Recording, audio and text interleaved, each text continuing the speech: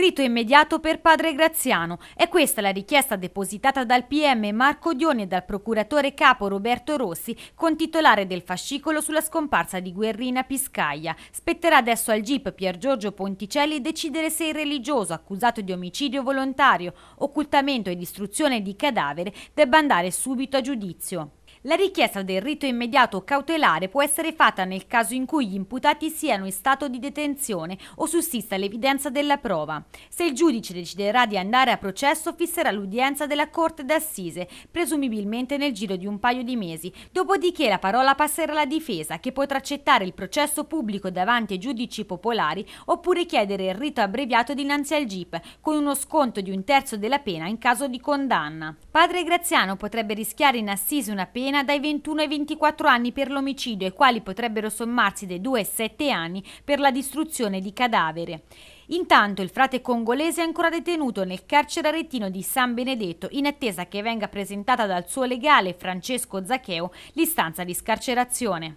Stralciata invece dalla procura di Arezzo la posizione del marito di Guerrina Piscaglia, Mirko Alessandrini, iscritto nel registro degli indagati per false dichiarazioni. La posizione dell'uomo si avvia quindi verso la completa archiviazione. È stata fatta la richiesta dal dottor Dioni di giudizio immediato, di conseguenza noi in quel processo, a prescindere dalla scelta processuale che farà Zaccheo e Alabi, eh, noi ci costituiremo parte civile. Mm, lo stralcio era un atto dovuto, quindi quantomeno è una conferma diciamo, che Mirko Alessandrini è assolutamente estraneo alla scomparsa eh, e formalmente anche all'omicidio, che è quello che contesta la procura eh, di Guerrina Piscaglia. Questa notizia un po' lo ha sollevato perché eh, dalle ultime ultime eh, diciamo, dichiarazioni che venivano fatte anche dalla, non tanto dalla difesa di Alabi ma dai diplomatici amici di Alabi puntavano il dito contro Mirko Alessandrini e quindi lui era preoccupato di queste accuse. Ad oggi credo che queste accuse non devono essere più fatte neanche televisivamente oppure nei giornali.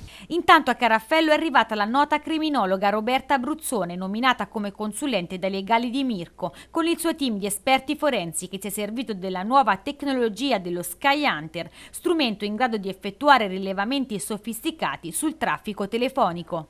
Beh, abbiamo fatto una mappatura completa di tutte le, le risposte radioelettriche che coprono la zona da Carafaello fino a Sestina a Bresciano. Fatto, abbiamo percorso queste zone con lo Sky Hunter e abbiamo ottenuto tutti i dati che ci interessavano, che poi caleremo chiaramente sui tabulati telefonici che a breve ci saranno resi disponibili completi. Il cellulare di Gurina Piscaglia avrà una serie di diciamo, momenti di vitalità successivi alla scomparsa, quindi dovremo fare una, una mappatura, cioè ricalare questi dati della mappatura su queste informazioni che saranno però più ampie, non soltanto relative al primo maggio, ma anche nei giorni successivi fino ad arrivare a luglio del 2014. Innanzitutto per collocare le utenze direttamente sul territorio in maniera precisa e a quel punto fare delle valutazioni investigative basate su dati estremamente precisi e affidabili.